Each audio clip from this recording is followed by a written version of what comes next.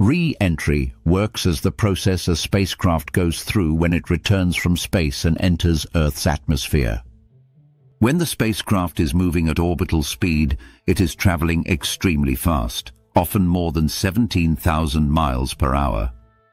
As it begins re-entry, the air in the atmosphere pushes against the spacecraft, creating intense friction and heat.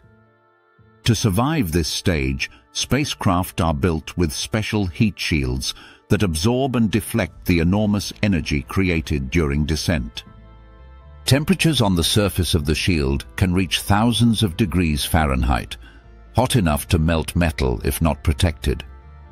The shield gradually burns away in a controlled manner, carrying the heat with it and keeping the inside of the craft safe. Another challenge of re-entry is slowing down safely while still staying on the correct path.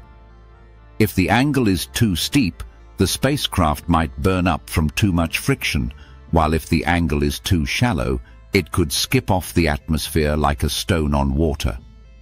Engineers calculate the entry trajectory carefully to balance heat, speed and altitude so that astronauts or equipment land safely.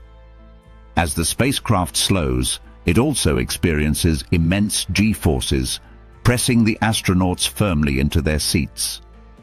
After passing the hottest and most dangerous stage, parachutes or retro rockets are deployed to slow the craft further for a safe landing on land or sea. In some modern spacecraft, wings or steering fins help control the descent and allow smoother landings.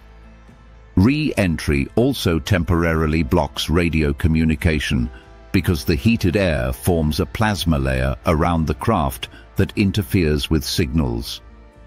Once it passes through the hottest region, communication returns and mission control can guide the final landing sequence until the spacecraft touches down safely.